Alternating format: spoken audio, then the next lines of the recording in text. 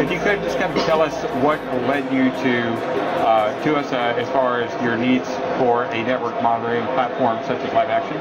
Well, uh, I first saw it at my previous job, and I, I, liked the demo so much that when I came to my new job, I really wanted to use it too. And we had a, uh, a big project coming up. We were moving uh, to a brand new building. We built a new headquarters. Um, and having that tool available uh, really helped us resolve a number of issues with QoS we ran into, both in uh, how some of the equipment we were using was set up, uh, stripping QoS markings, and how our WAN providers were uh, either remarking or, or not putting us in the right queues.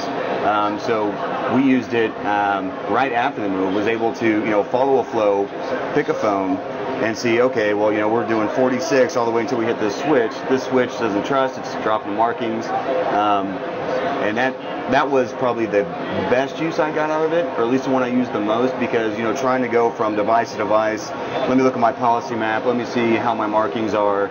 Um, it's a pain.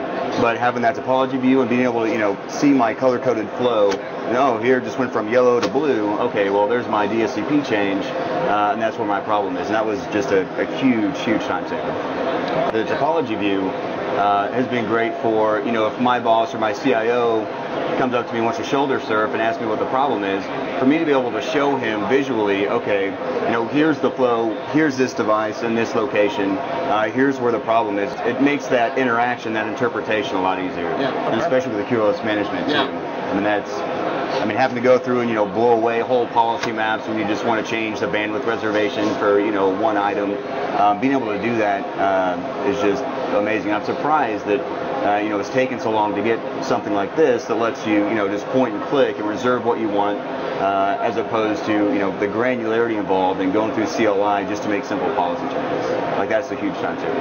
Okay. What are some of the um, the drivers then that you see that are differentiators with the LiveAction tool versus some of the other products that are on the market?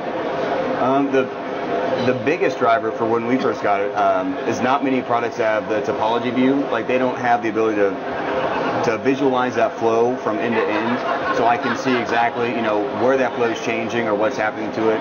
Um, that was a big sell to me. And then again, I mean, I know I already hit on the QoS, but the, the ease of the QoS management, um, I mean, that that sold it to me out of the box. I mean, that was it.